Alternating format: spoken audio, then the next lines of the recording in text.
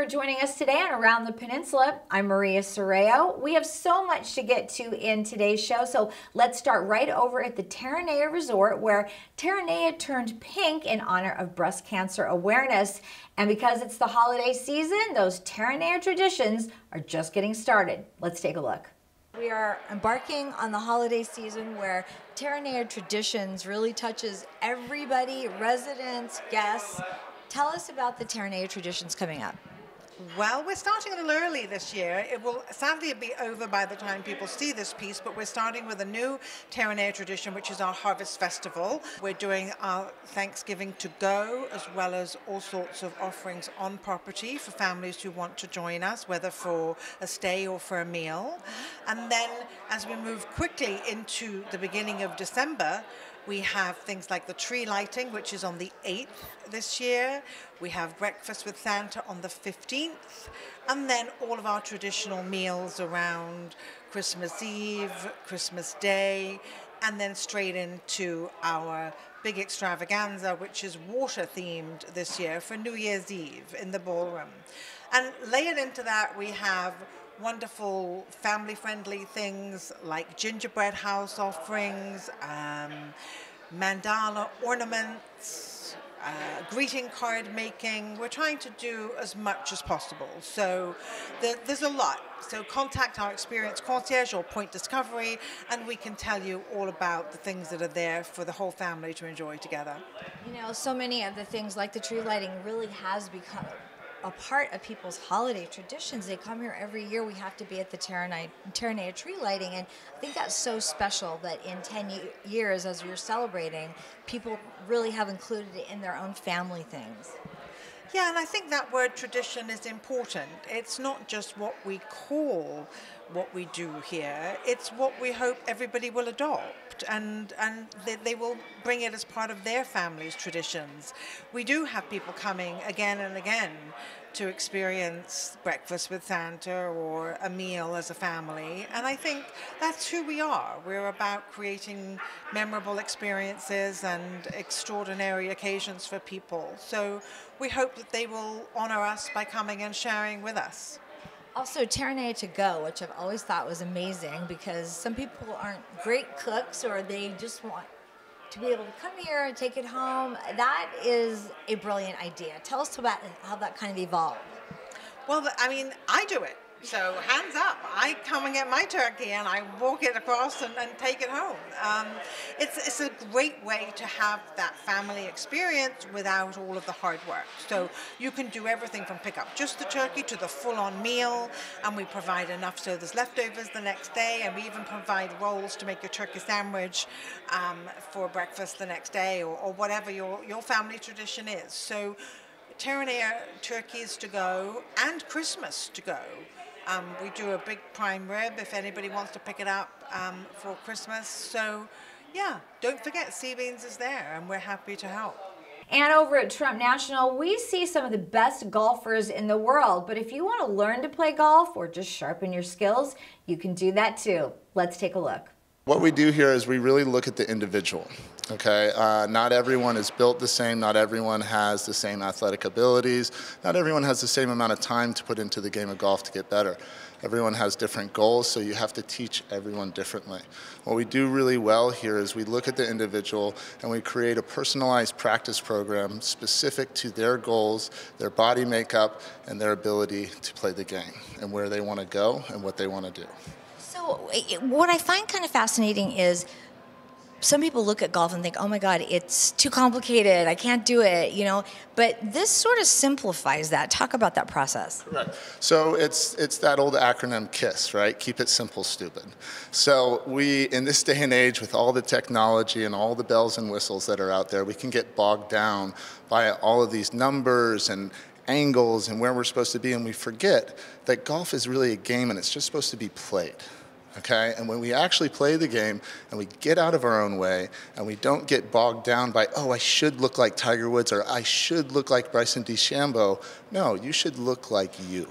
And you should be able to do what you can do. And we're just here to bring out the best you that can be.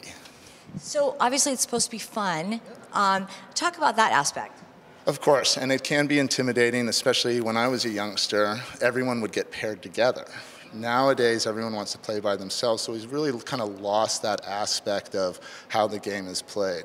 So I've created a lot of skills development and training sessions where we create game-like scenarios, right, that resemble on-course situations. So they're games that put pressure on you that you find on the golf course. Now, we do that in groups of six to one, so now you're interacting and interfacing with other individuals like you do on the golf course. So anytime we can put ourselves in a position that resembles the way we play, we're gonna get better and better and better.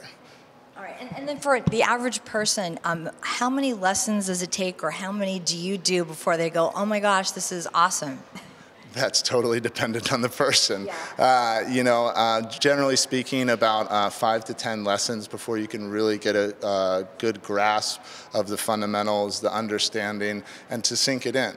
But it really comes down to the person and how much they practice in between the lesson. The individual who practices more, who does purposeful practice, because practice doesn't make perfect perfect practice makes perfect. And that's what we aim for, creating a specialized practice for that individual that helps them reach their goals. What would you say to somebody who wants to do it but they're nervous about, you know, trying it? Tell me. Just leave all your expectations at the door. Come and have fun. Enjoy the beautiful weather. Enjoy the beautiful scenery. And the reality is, is this is fun. It's a, it's an extracurricular activity. We're the only ones that put pressure on on ourselves. And to be quite honest, I don't care if you're a tour player, a 10 handicap, or a three handicap.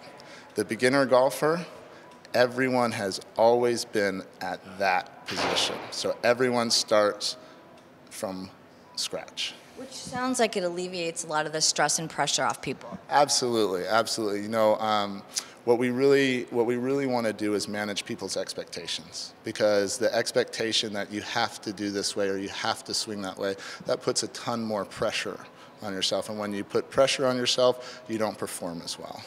So you have been golfing a long time. When you discovered the Rick Smith Academy, what, what did you most like about it?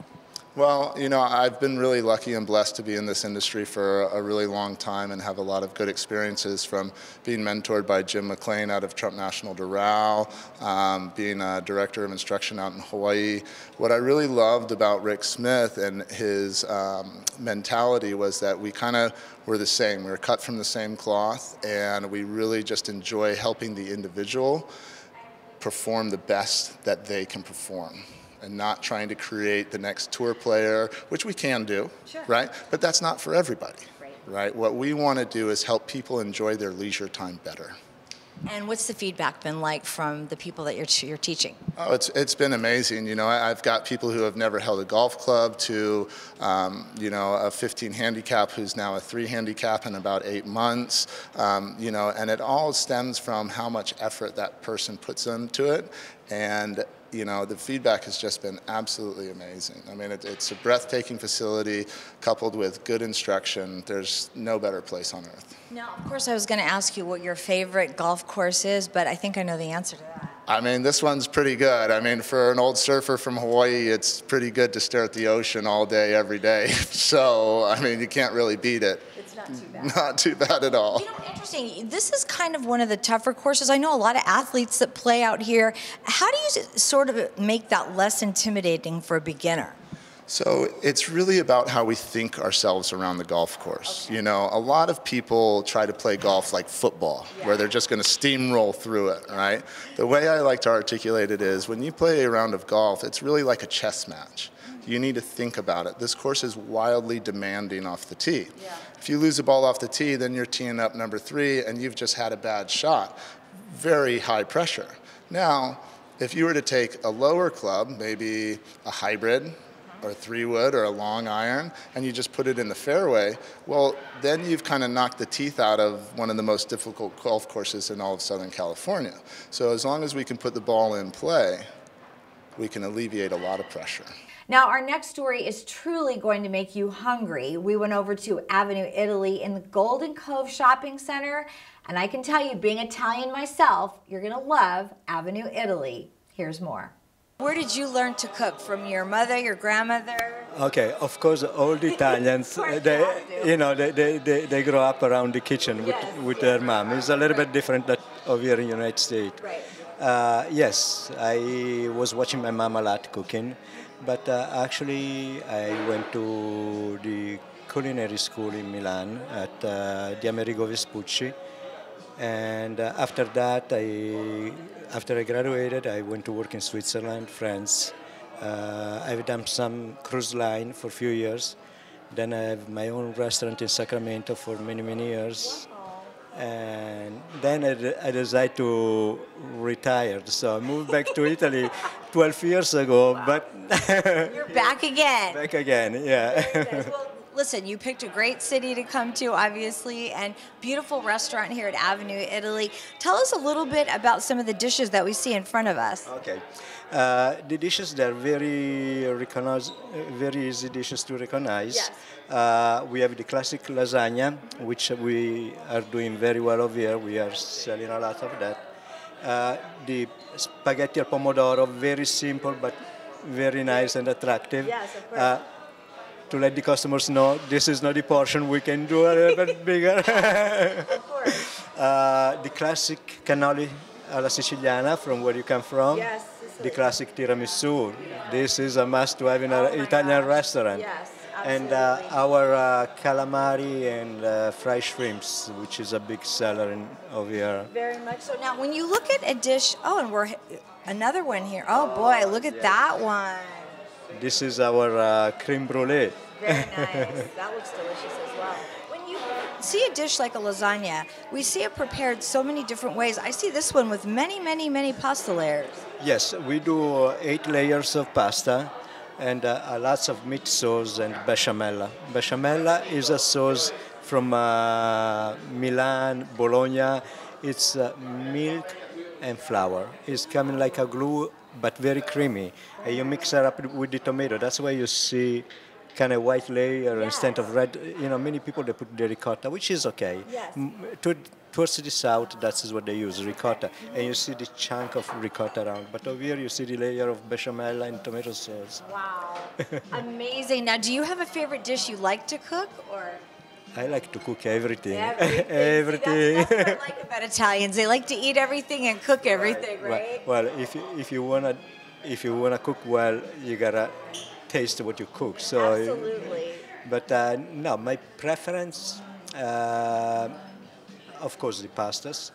Uh, myself in particular, I like fish a lot. I eat lots of fish. And we're in the perfect place for fish, being so close to the ocean. Yeah, and uh, also here at the restaurant we offer many, many nice fish every day. We have lobster, we have uh, branzino, which is the Mediterranean sea bass. That is a big seller.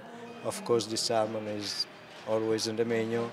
Uh, Chilean sea bass, halibut. We have uh, lots of A seafood. lot of choices, that's for sure. Very good. Well, the, the restaurant's open seven days a week, yes? The restaurant is open seven days a week. Uh, we open at 11 o'clock in the morning and we close at 9.30 in the evening on the weekend and 9 o'clock in the weekday.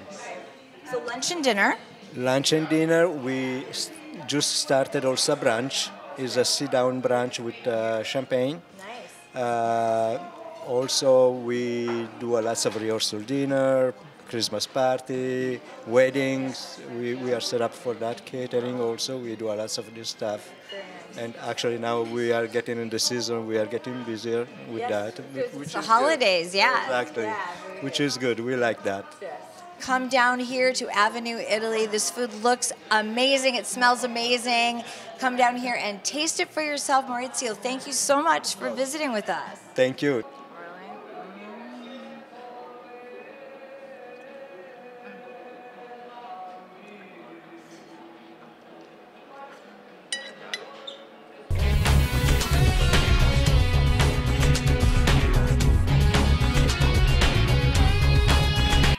Last story takes us over to the Norris Pavilion where we attended the annual fundraiser for the Palos Verdes Women's Club Books and Authors event.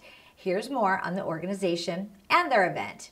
Tell us about the, the Women's Club. I know it's one of the oldest on the Hill. It is. We're 93 years. Uh, 1926 was our founding date, and uh, it's been a uh, an area for women in our community to be able to immediately um, know what the needs of the community are. So our organization has been around a long time, and um, as most organizations, it's changed, and we're not getting the kind of membership that we used to, but we have loyalty and dedicated people. And uh, some of our new members are recently retired, and that's where we're finding our niche. Tell us about the things that you do throughout the year. This is uh, your annual fundraiser, but what kind of things do, does the club do? Well, we're really, we used to have two functions uh, for fundraisers. We're down to our major one, which is uh, for scholarships, and in the South Bay, um, charities that would not get public funding. Um, that we can kind of support smaller charities that are doing great work.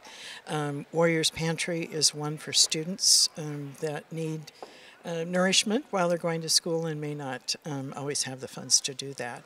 Uh, especially Handmade is a um, women's prison uh, organization that this woman has them making special scarves that are sold around, and funds go to help shelters for women that, that are in an abusive situation.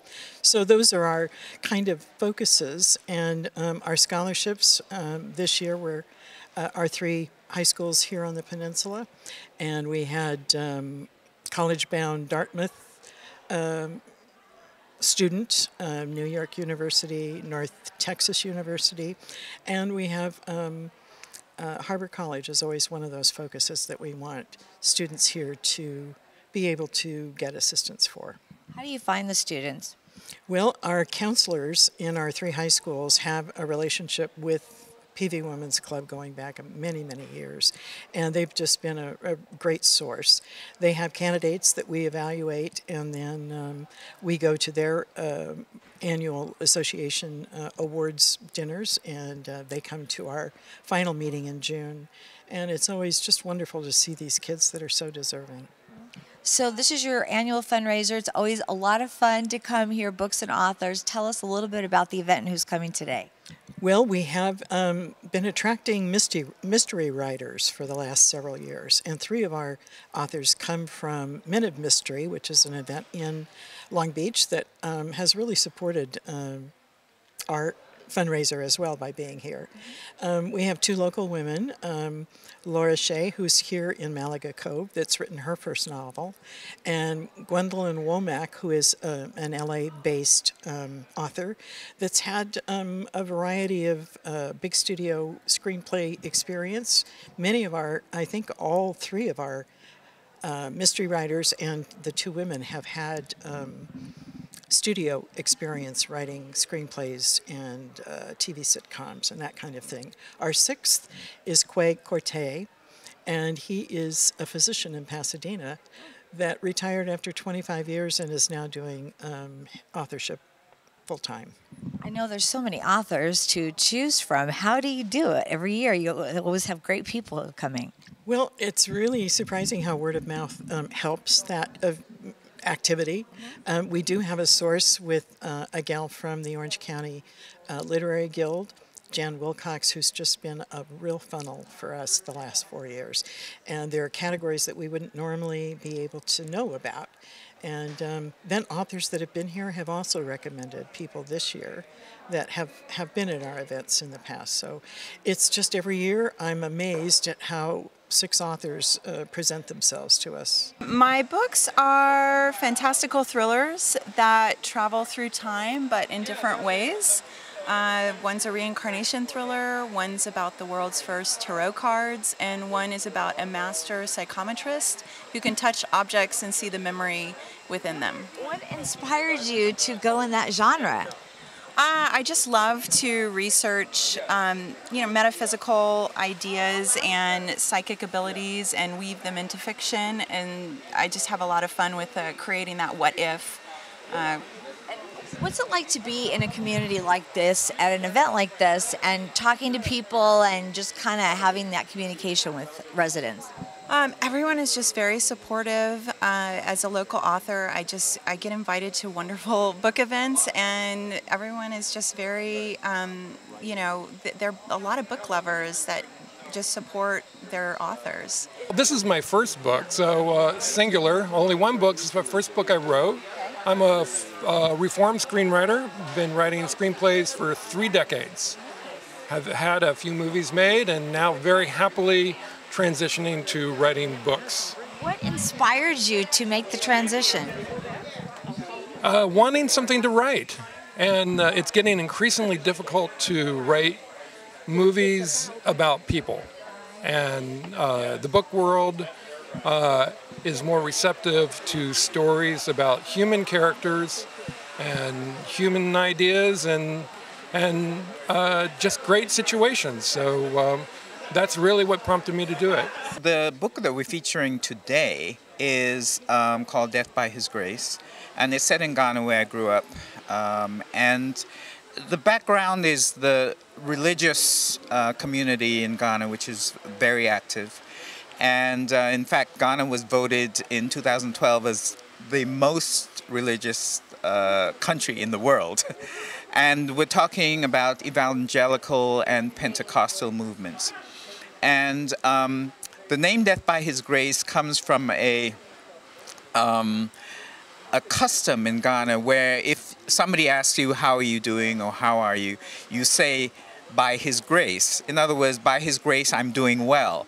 So that phrase comes up so often in speech. I thought to myself, well, if by His grace applies to almost everything, then death and murder also follows.